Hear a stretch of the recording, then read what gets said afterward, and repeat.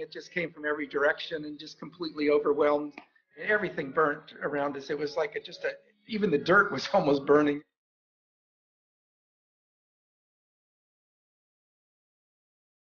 all the animals were in harmony with each other. Uh, they, they, would basically graze our pastures, which kept the fire danger down. And uh, that that is what helped me to, to survive too, is the donkeys had eaten all the grass around our pond areas.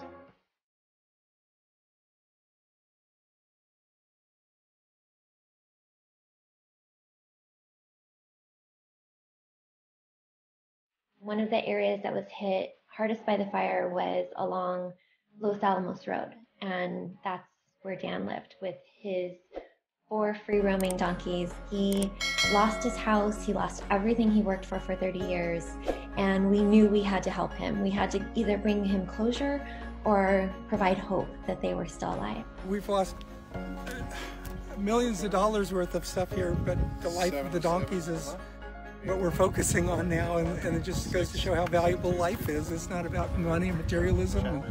It's about things that are still possibly alive, and let's try to save them.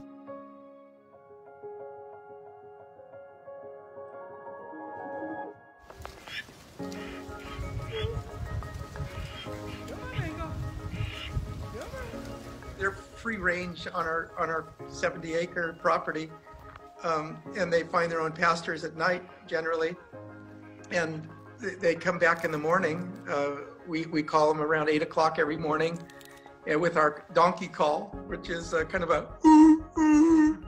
And when I did that call, the donkey call, I heard the donkey calling back, which they usually do. And um, so we knew the area where the donkey was at that point.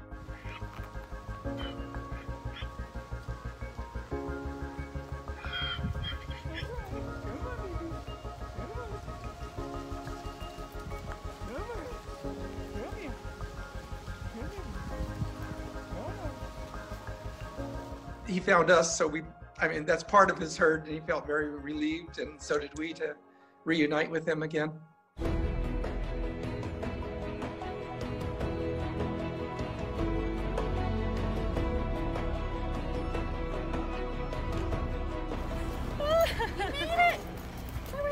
We've really appreciated the organizations and people that have offered help and pastors and such love for animals. We're not just strong, we're Sonoma County strong. We come back and we rebuild and we help each other. And so that's what Mango did for us, is that he gave us hope to keep going.